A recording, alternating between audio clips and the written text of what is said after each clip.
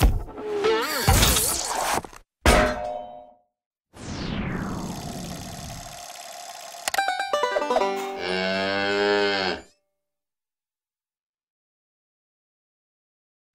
everyone, I'm Andy Neil, and this is an in and out tutorial for Final Cut Pro 10. I'd like to talk about the ins and outs of Final Cut's new editing paradigm, namely storylines, connected clips, and compound clips. Because this is what has the most people confused when they pick up the program for the first time. First, I want to go over their basic definition and implementation. This dark gray area here in the middle of your project is the primary storyline. If I select a clip in my media browser and insert it into my project by hitting W on the keyboard, or append it into my project by hitting E, the clip will be added to the primary storyline. Connected clips are another way to add shots into your project. I'm going to select another clip in the media browser and then position my skimmer in the timeline over one of the other clips. Then hit Q on the keyboard. Now my connected clip is attached to the primary storyline at this point on this clip. It will stay with it even if I decide to move that shot elsewhere in the project. Finally, the last major clip convention of Final Cut 10 is the compound clip. You can take several clips, storylines, titles, whatever, and collapse them down into a single clip. I'm just going to lasso all three of these clips, right click, and choose New Compound Clip from the menu. The compound clip plays back exactly as the original three clips did, but now is condensed and can either exist in the storyline or as a connected clip on its own. And if I click this little icon, it'll open up in its own timeline, giving me access to my original three clips. I can edit them, and I can move them around as I wish, and then the compound clip will update in my project. Okay, so now you have a basic understanding of how these clips are applied, what you need to know now is when to use them, or even if to use them. Here's a basic project that I want to build. It contains voiceover narration and video that I shot. When an editor begins an edit, they start by assembling the foundation for their project. This is often called A-roll in the business. A-roll can be video or audio, or a combination of the both. For a documentary, it's typically the voiceover and or the interviews. For a music video, it's the song. For other projects, it's other elements. Final Cut Pro 10 is designed so that the primary storyline should contain your A-roll. In my project, I have a clip of voiceover narration that I recorded. To keep things simple, I already marked the clips I need for my narration by going through the audio, marking an in and an out point, and then making it a favorite by hitting F on the keyboard. Using the favorite shortcut is a great way to keep track of selects and separate the good shots from the bad. If I twirl down this disclosure triangle for my narration track, I can see all of my favorite selections. Clicking on one of these will automatically recreate the range for it.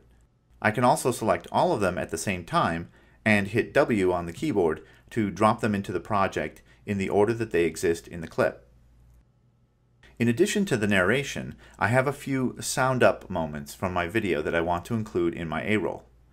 I'm just going to use the up and down arrow keys to navigate to the right spot in the project, and then I'll add those shots. For simplicity's sake, I created a favorites for them as well, so you don't have to watch me hunting them down. I'm going to twirl down this disclosure triangle and click on the favorite to select it, and then hit W to insert it between these two clips of narration. Then I'll slide over a couple of clips in the project and go to my second sound up. This time, I'm just going to click this little green line on my clip, which is another way to select the favorite, and then insert it with W. Now that I have my A roll down, I need to space it out properly to pace my story. It doesn't matter at this early stage if the spacing is perfect. I'll have plenty of opportunity down the line to make changes to the timing. Since we're working in the primary storyline, Final Cut Pro 10 doesn't permit us to have spaces between the clips. This is a major change from other editing programs, including previous versions of Final Cut.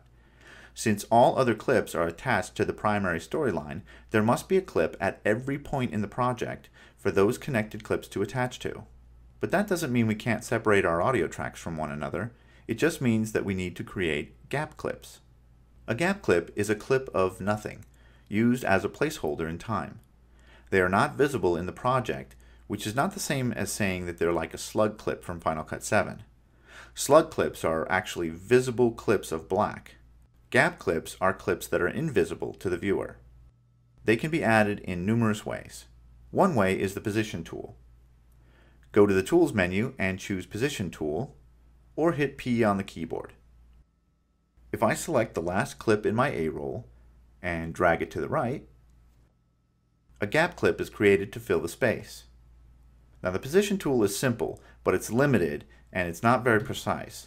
If you try this with a clip in the middle, you're going to roll over the clip next to it, unless you first select all the clips to the end of the project.